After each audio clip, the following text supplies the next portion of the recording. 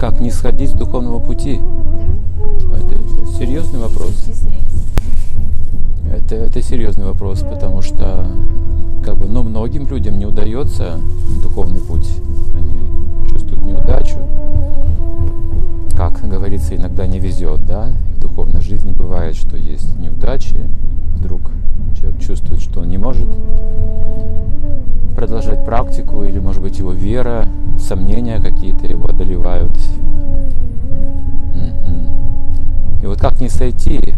Ну, есть простые очень правила. Именно благодаря правилам можно держаться все-таки на этом пути. А, например, вот поезд, мы едем в поезде сейчас. И правило это вот ход поезда. При этом я могу не сознавать сейчас точно, где я нахожусь, в каком месте моего сомневаться, с опозданием придет поезд или точно придет поезд. Ну, всякие вещи могут приходить в голову, но поезд на маршруте. То есть это наша как бы главная практика, это вот Хари Кришна Махамантра, четыре регулирующих принципа. Вот это мини, минимальный как бы, стандарт нашей практики, и поезд уже едет.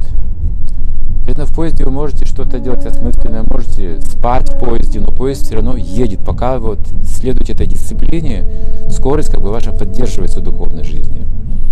Если говорить уже о конкретных путях, вот, что мы переживем на этом пути, какие остановки, какие климатические условия нам встретятся, какие, может быть, пассажиры нам встретятся, да, это, может быть, какие-то добрые люди, может быть, это воры мошенники, всякое может быть на этом пути, жизненном пути, но важно не выходить из поезда. Важно продолжать нашу духовную практику. Вот такой пример нам давал Шила Прабхупада. Это как вы в поезд.